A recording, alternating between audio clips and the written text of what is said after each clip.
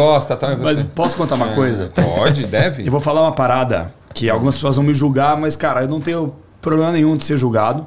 E eu sou um cara, vou falar por mim. Eu já cometi inúmeros erros e cometo muitos erros. Mas eu sou um cara que eu todos os dias, ju- juro por Deus, eu tento evoluir todos os dias. Como pessoa, até como vo- vocabulário. Por exemplo, ah, não judia dele. Não, Não cara. pode. Tira o judia da frente. Pode crer. Não fala. Pelo menos eu aprendi isso com os, É. com os pretos. Porque não é mais negro, agora é preto. E eu tô falando, pelo menos é o que me estão falando. E eu, e eu tento colocar isso no meu vocabulário todos os dias para não cometer mais erros, para não atrapalhar a vida das pessoas, para não cometer nenhuma injustiça, etc e tal. Você não vai lembrar disso. Você não vai lembrar disso. Lá atrás, eu fiz uma piada com um preto. Eu fiz uma piada dentro do carro. Tava seu pai dirigindo, eu acho. Não lembro quem tava mais. Eu fiz uma piada e você ficou puto. Você ficou puto. Que eu fiz uma piada, uma brincadeira. Isso foi há quanto tempo, cara? Mais de 10 anos. E eu fiz, não lembro qual foi o tipo de piada, mas foi uma das piadas hoje que não cabem, naquela época não deveriam caber, mas eu fiz. Porque eu achei que era realmente, né? Tava entre os amigos e falei, e você ficou fudido, e seu pai veio falar comigo. E aí seu pai falou rapidinho, falou, é, o Fabinho, ele né, não gosta tipo de piada, porque realmente foi uma, foi uma brincadeira só, não, mas ele não leva por esse lado, mas tá tudo bem, daqui a pouco, deu 15 minutos a gente tava brincando, depois de novo, etc e tal. Isso me marcou muito, porque desde lá que eu fazia a brincadeira com esse tipo de relação, vou dar um exemplo aqui, vou dar um exemplo, tá? É, você tinha umas 10 piadas, tipo, como é que negro pede ca- casquinha mista no McDonald's? Aí fazia assim, né? Porque a palma da mão branca, a outra palma é, preta. Isso todo mundo ria antes. Todo mundo ria antes. E é um dos maiores absurdos, cara. Isso é uma canalice. Eu não aprendi isso em casa. Eu não aprendi isso com meu pai, com minha mãe, pelo contrário. E, e por que, que eu tô falando tudo isso? Porque desde aquela época você já se mostrava ser muito evoluído em relação a isso, coisa que eu não era. E eu tenho, obviamente, vergonha de ter feito piadas. Por mais que eu tenha.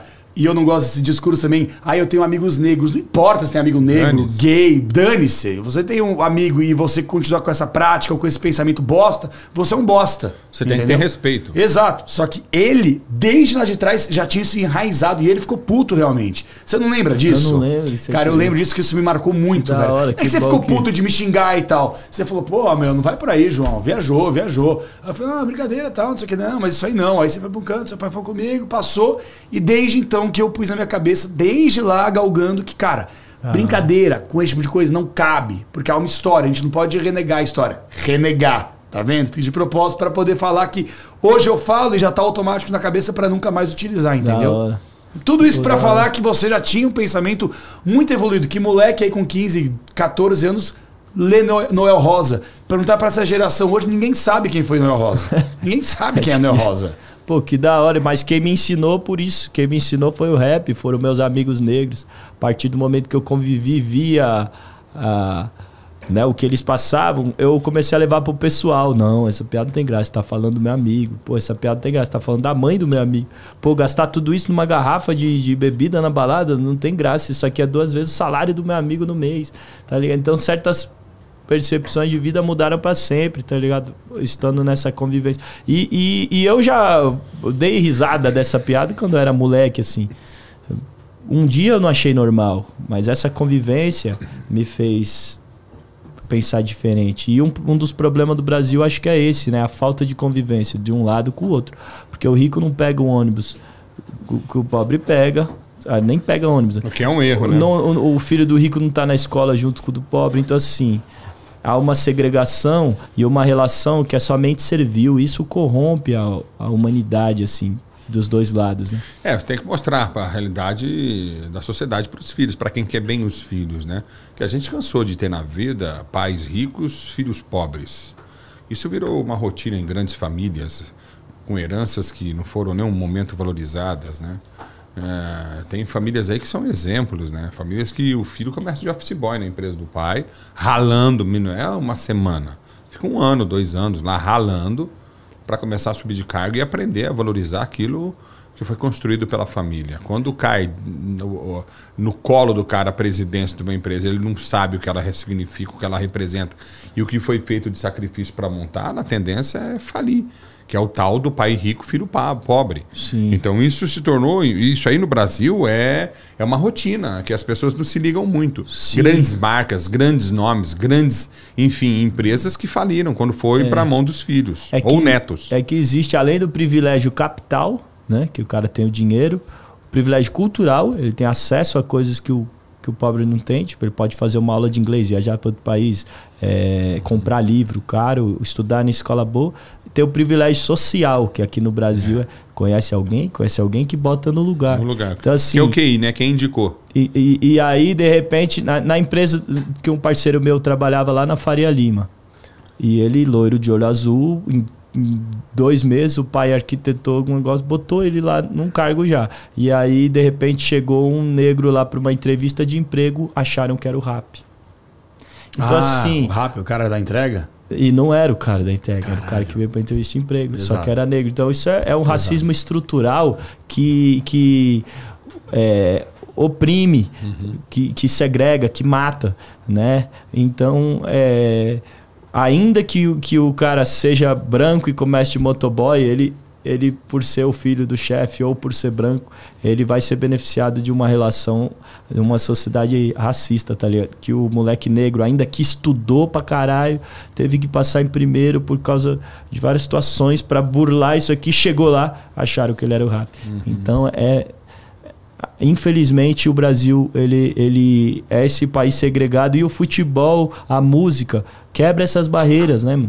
E, e são talvez as, as portas de ascensão social mais é, importantes, né? Do, do, do negro, do pobre. É a música e o futebol. E aí que tá, né? Ao mesmo tempo que é da hora ver isso, né? Caramba, que bom que tem a música e o futebol como uma porta de ascensão social para para os negros, para quem vem da periferia. Mas por que só essa porta? Por que, que lá no, na, na Câmara dos Deputados não pode ter é, o tanto de negro, de nordestino que tem no, na escalação da seleção do Brasil? tá ligado? É mais ou menos isso. Futebol permite isso. É. Eu tive uma visita em Memphis, que eu sou fã do Elvis Presley, e passei um Natal lá, fui visitar, tem um hotel lá da casa dele em Memphis, nos Estados Unidos, com minhas filhas, tudo, e e a gente estava em Memphis, eu comecei a andar pelo centro da cidade e lá está o hotel que o Martin Luther King Jr. foi assassinado. Né? Ah, é verdade. E aí foi eu, cara, eu parei um hotel simplesinho, baixo, assim, obviamente que virou museu, tal, aquela coisa toda. Eu falei, meu, vamos aí, eu quero ver. Comecei a ler, rapaz.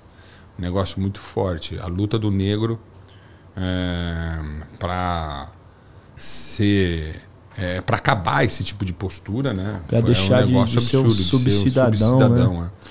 E, e o, que é uma raça muito forte, o negro é muito forte, né? Saúde, é uma coisa impressionante o negro que ele tem, né? De força física e intelectual.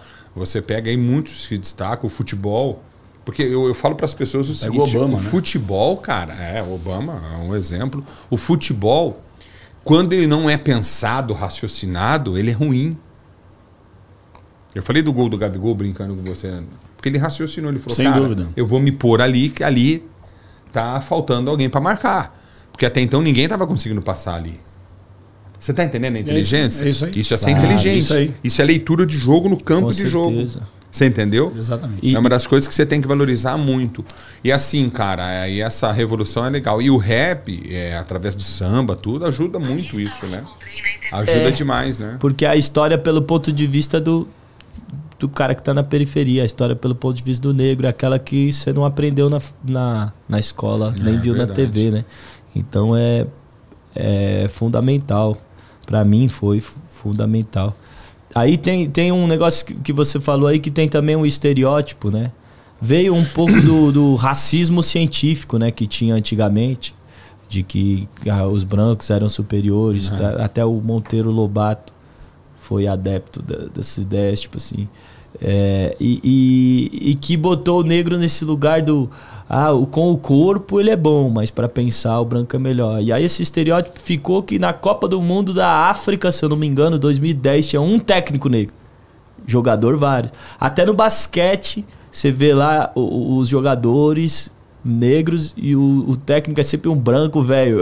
então, tipo, nesse lugar que não para pensar tem que ser o branco com o corpo o negro é melhor. Um estereótipo que também, que também oprime e que, e que é uma mentira, né? É uma mentira. Na verdade, é só dar oportunidade que, que a gente vê o que o, o negro, aonde ele pode chegar, né? Então, tipo, que bom que no futebol ele conquistou seu espaço, mas que pena que em outros lugares ainda falta essa oportunidade. E lá nos Estados Unidos, a gente estudou lá, né? Lá tem, os, os negros são 14% da população lá. É. E a escola é cheio de negros. Cheio. Você divide a sala com negro, você tem aula com professor negro. E aí o que, o que me leva a crer que aqui o racismo estrutural no Brasil é pior que o dos Estados Unidos. Pior. É pior, porque aqui é mais de 50% e vai numa universidade para ver a diferença das. Lá eles tiveram um, um presidente negro, Barack Obama. Eles têm várias figuras de poder negras, né? Exato. Em todos os lugares. Oprah Winfrey, Kanye West, Will Smith, eles estão ali permeando a sociedade em espaços de poder. Tem muito racismo, tem preconceito. Claro que tem, é Lá lógico, tem, Unidos mas, tem mas você caramba. consegue minimamente. Né, Teve lá, mais inclusão, eu é, achei. é, Exato, há, mais inclusão do que aqui, pelo menos do meu É, ponto de vista, né? acho. Mais respeito, mais Sem inclusão. dúvida.